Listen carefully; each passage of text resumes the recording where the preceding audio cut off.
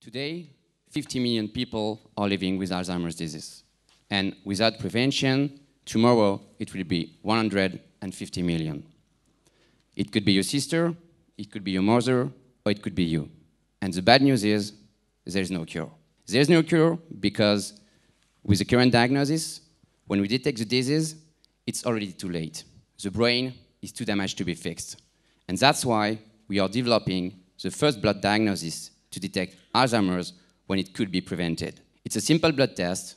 We take a plasma sample, we analyze 16 biomarkers, and we run a machine learning algorithms to find out if you're healthy or suffering from Alzheimer's before the first symptoms. We also give the stage of progression so your physician could treat you accordingly. We have a kick-ass team, uh, highly skilled in neuroscience, artificial intelligence, and business. We are laureate of iLab 2019, and we are the only company supported by France Alzheimer's. The Dr. Bernard Majoie, former um, CEO of Laboratoire Fournier, is our mentor and first investor. After a decade of research, we have patented more than 100 biomarkers and we have developed a neural network to diagnose Alzheimer's during the silent phase.